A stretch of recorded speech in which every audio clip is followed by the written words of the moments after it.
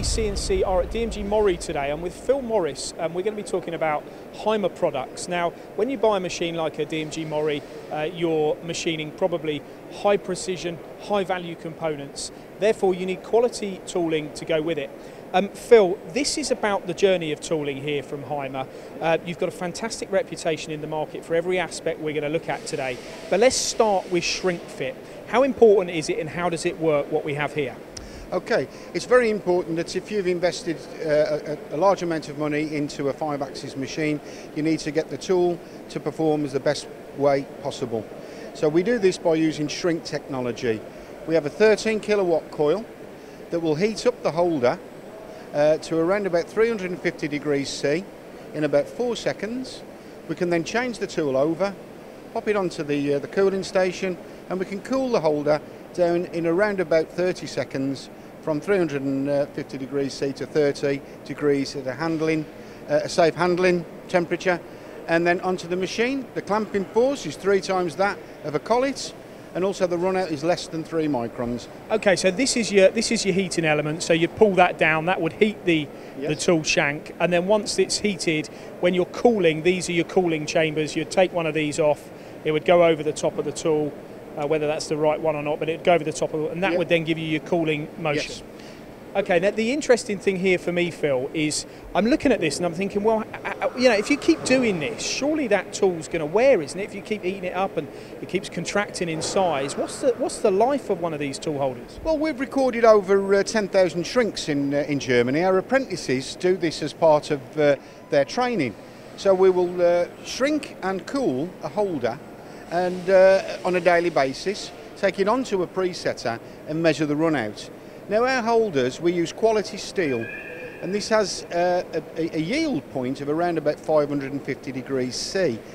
The NG coil, painted NG coil, will reach a temperature of 330 to 350 degrees. So we're not taking that the, the material past its point of, uh, of elasticity, if you like. So we're, we're keeping this in a safe position. So if you heat and cool in a disciplined manner, the tool holder will last a lifetime.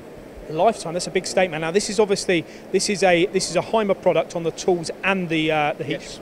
We make that guarantee that if you use a Haimer holder in conjunction with a Haimer machine, then and obviously you don't bang the tool in any way, shape or form, then the tool will last a lifetime. Now when the tool lasts a lifetime, the key to the tools on machines like this is the fact that you don't want to well, if there's if there's less vibration, for example, if you if you come this way, Phil, uh, if there's less vibration on the tool because of run out and so forth, you're going to get longer tool life. You're going to get better surface finishes on your part, and ultimately a longer lasting machine tool, aren't you? Absolutely. Uh, we want to protect the bearings on the uh, the CNC machine as much as possible. Now we can do that in conjunction with a balancing machine. Uh, all of the Haimer holders are balanced to 25,000 RPM uh, up to from the gauge line to the top of the holder. So we know that from that point we're safe. Now the spindle on a machine uh, has a, a, a, value of 2.5 G and we don't want to exceed that. So we set in the parameters of the machine uh, that the maximum value that we want to go to is 2.5, the maximum RPM of the machine, and then we can set about balancing this tool so that we can stay within that range. Okay, so let's put this tool back in here. So now once this tool is in here, let's say it is out of balance, how do you go about then balancing it? You... Uh, there are three ways to balance the tool. We can either add mass by, there's these carefully weighted screws that we add once we go through the cycle of balancing. The machine will then tell us where to put the, the, the, weight, the correct weighted screw in order to bring about a correct balance. That's one method. Another method that we can use on, on longer um, overhangs on tools is using um, balancing rings. Now these can withstand a, a RPM of around about 50,000 revolutions per minute and they pop onto there and again the machine will tell us where to do that and also we can take mass away by drilling uh, within the holder to balance now, it out. Once the tool is balanced, then let's move on to the final part of this presentation.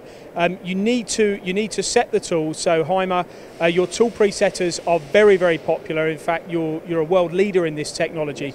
Um, tell us about this process. Well, this process, once we've got the, the, the tool shrunk in and we've balanced it so it's in the best position it can be, we need to get an accurate geometry for the tool in order to uh, put it into the machine as quickly and as accurately as possible. We can do this in one of, one of three ways. We pop the tool in. Now we've got a couple of spindles that we can use. We have a standard spindle and we've also have an, our Super ISS spindle, which uh, copies the same amount of clamping force that would be on the spindle of the machine.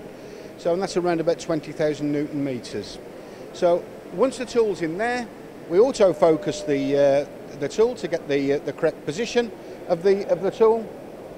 Just pop that in uh, in its position. That'll autofocus as we bring it round. Okay. And then once we've got the measurement, which is at the top, we can then send the data either through the network or through a post processor or we can print the label off and pop it onto the uh, onto the tool. Now, you mentioned to me one one of the reasons that you, that you guys believe that you're the leaders in this type of technology is down to the build of the machine here. Um, explain to me about the fact that you're using a, a casting as opposed to an alum- uh, as opposed to an aluminium base. Yeah, we um, every customer's needs are different. Now we'll assess the customer's needs, and we we have a, a machine that would suit uh, everybody's purpose for what they're trying to achieve. Now we have machines that can withstand tools that are, that are of a heavier weight, over 32 kilograms, and also we have machines that are, that are smaller, more compact, and it depends really on the customer's needs. Now all of our uh, body inside here, the bodies are made from cast iron, so you've got a better coefficient of linear expansion in there, as opposed to using two different types of uh, materials.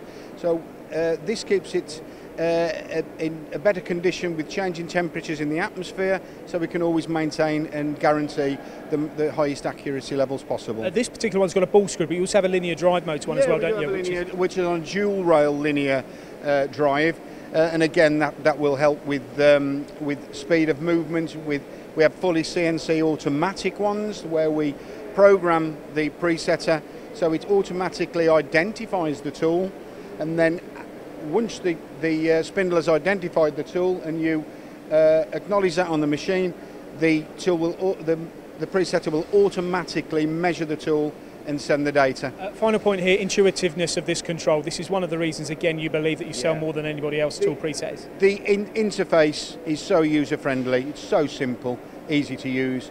Uh, it's uh, anybody could use this. Very limited training and repeated accuracy every time.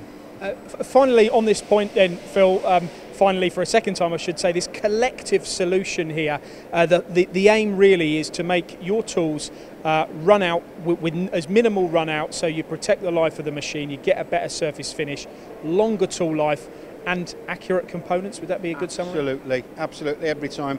Using these three items in conjunction with a quality machine like DMG Mori, that you can you can maintain its accuracy of the tool going in, speed of, of the of the data going into the machine, and also you're going to protect the spindle and your in- uh, your expensive investment. Sounds brilliant. That's from Haimer here. Uh, a solution there. Everything from heat shrink, balancing, right the way to uh, through to tool presetting. If you're after quality tooling and superb component results, then uh, here's a solution. Thanks, Phil.